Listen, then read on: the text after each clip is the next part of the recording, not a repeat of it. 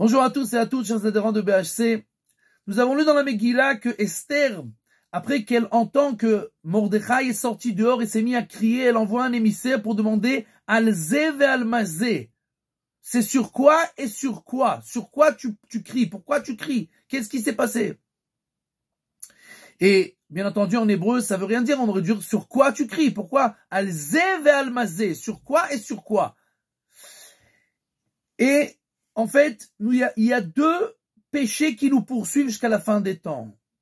Le veau d'or qui a été fait, que Dieu a dit que je euh, prendrai euh, euh, prix, je, prendrai un, paiement sur ce veau d'or jusqu'à la fin des temps, et la vente de Yosef par les frères. Yosef a été vendu par ses frères, et jusqu'à la fin des temps, il y a cette haine gratuite, il y a la destruction du temple qui nous a poursuivis, il y a eu les Asara, Rougé, Malchut, etc., etc. Le Hegel a commencé comment? Les Bnei Israël sont venus voir Aaron, ils lui disent qu'ils aiment Moshe Aïch. Ce Moshe-là a disparu, il n'est plus là, Moshe n'est plus là. Zé Moshe Aïch. Et ils ont fait douze vaudors, nous dit le Yerushalmi, le Talmud Yerushalmi. Douze en valeur numérique, c'est Zé.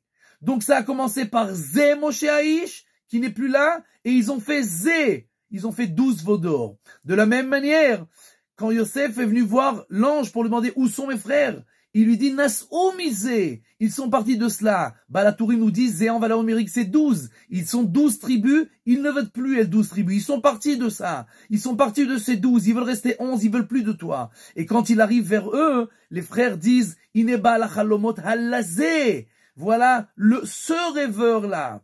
Donc, la faute qui est entre nous et Akadosh Baruchou, le Vaudor, et nous, entre nous, Ben Adam Lachavero, entre un homme et son prochain, les deux, elles sont avec Zé. Elles sont avec le mot Zé. Donc Esther pose la question, al Zé ou al Mazé, sur quel Zé De quel Zé on parle là? Le décret pourquoi? Parce qu'on s'est mal comporté face à Kadosh Baruchou ou parce qu'on s'est mal comporté les uns en face des autres? Et Mordechai lui dit, tu me vois avec un linceul. Est-ce que quelqu'un après le Vaudor a mis un linceul? Non. Mais après la vente de Yosef, il y a écrit que Yaakov Avinu a mis un linceul sur lui. Alors elle dit, ah, c'est comme ça. Donc le décret est parce qu'on s'est mal comporté les uns envers les autres. Alors, l'Erknos et Kol Va et prend tous les, juifs et met-les ensemble, rapproche-les les uns des autres. Et c'est ce qui s'est passé que Aman, il est devenu Tsorer à Yehudim. Tsorer, ça veut dire un ennemi, mais en hébreu, Tzror, ça veut dire aussi un, euh, euh, euh, un lien.